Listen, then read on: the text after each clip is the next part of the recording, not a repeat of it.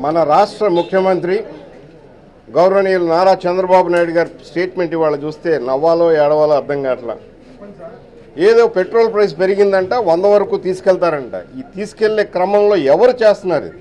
ఎలా ఉంది అంటే ఏడ్చేదానికి పె- మొగుడు వస్తే మాకు మొగుడు వస్తాడని కేంద్ర ప్రభుత్వం ఏదైతే పెట్రోల్ని అడ్మినిస్ట్రేట్ ప్రైసెస్లో ఇంటర్ అంతర్జాతీయ ధరలకి లింక్ చేసిన తర్వాత పెట్రోల్ పెట్రోల్ ప్రైసులు పెరగడం వాస్తవం ప్రజలకు ఇబ్బంది ఉన్నమాట వాస్తవం. కానీ ఇందులో సింహభాగం రాష్ట్ర సేల్స్ ట్యాక్స్ రూపంలో ముప్పై రెండు రూపాయలు వసూలు చేస్తున్న ఈ రాష్ట్ర ప్రభుత్వం.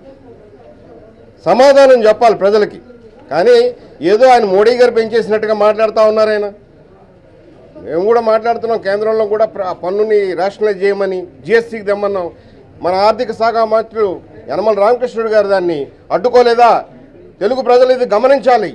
ఏదైతే వాళ్ళ పెట్రోల్ ప్రైసులు మన ఆంధ్ర రాష్ట్రంలో అందరికంటే ఎక్కువ ఉండడానికి కారణం ఈ తెలుగుదేశం ప్రభుత్వం. కాబట్టి ఏదో మోడీ గారి మీద వ్యతిరేకత పెంచాం మేము మోడీ గారి మీద మాట్లాడేసాం కాదు. వాస్తవాలు చెప్పండి.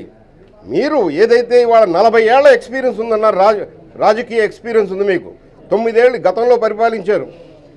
మీరు అబద్ధాలని పేపర్ పేపర్ మీ స్టేట్మెంట్ రావడం మాత్రం చాలా దురదృష్టకరం. దయచేసి తెలుగు ప్రజలు తరపున నేను మిమ్మల్ని డిమాండ్ చేస్తా ఉన్న తక్షణమే ఏదైతే ట్యాక్స్ ఉందో జిఎస్టీలో కలపమని అది పెట్రోల్ ఉత్పత్తులన్నింటినీ కూడా జిఎస్టీలో కలపమని మీ ఆర్థిక శాఖ మంత్రులకు చెప్పండి. లేదా పర్ లీటర్ పర్సంటేజ్ తీసేసి పర్ లీటర్ పదిహేను రూపాయలు పద్నాలుగు రూపాయలు వసూలు చేయండి. మీరు ఒక పక్కన ఒక ఆదాయ మార్గంగా చూసుకుంటూ ప్రజల మీద భారం మోపు మోపుతూ ఏ విధంగా ప్రజల్ని మోసం చేస్తూ ఉన్నారని అడుగుతా ఉన్నా. మద్యం మీద కానివ్వండి లేకపోతే పెట్రోల్ కానివ్వండి ప్రతి దాని మీద ట్యాక్స్ మీరు పెంచుతారా? ముందు మీ చేతుల్లో ఉన్న పనిది. ఏ కేంద్ర ప్రభుత్వం పర్మిషన్ అక్కర్లా? మోడీ గారి పర్మిషన్ అక్కర్లా? మీకు ప్రజలకు మంచి చేయాలని కోరుకుంటే తక్షణమే పన్నును తగ్గించండి.